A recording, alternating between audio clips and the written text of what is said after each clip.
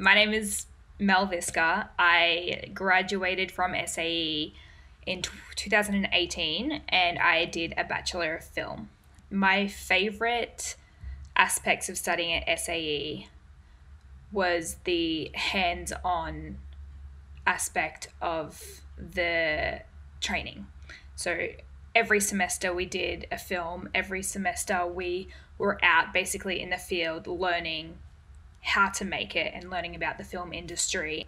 Throughout my time at SAE, I really took a liking and passion to directing and producing. So that's what I focused on in my degree and what I wanted to focus on outside of uni. So on our capstone, I was a director and co producer, still working on our short film from our capstone, which is around, it's called Next Train from Castlemaine, and it's still going into being accepted into film festivals around the world, which is really, really cool.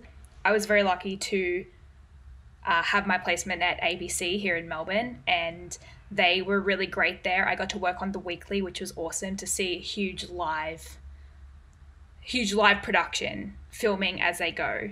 Literally, I got a full in depth understanding of how everything worked there in my short time that I was there. Work that I've done since finishing at SAE, I have co founded a production company with a few other graduates, and we have created a filmmaking initiative. We are all really passionate about women and filmmaking and trying to break that gender gap, and we had so much fun doing it. And in doing this, we created a short film called Stalling, which is in the festival circuit at the moment.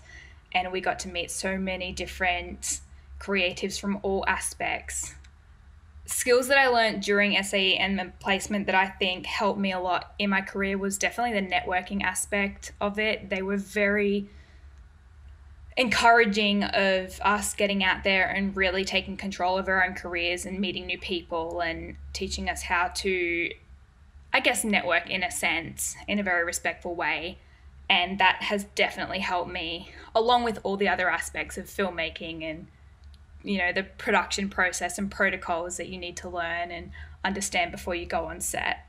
I have also just come back from LA. I got the great opportunity to work on a SAG production there. I was a production assistant and ended up working my way up to second assistant director, which was really, really fun.